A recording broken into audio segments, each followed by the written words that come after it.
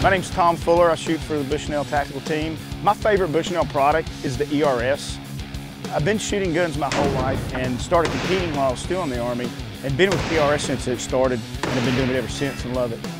In the first two years on the PRS series, Bushnell won the series, the finale events, more matches than any other scope out there. Bushnell's given the shooters, the competitors, as good of a piece of equipment as you can have at a huge value over any other competitor in the field.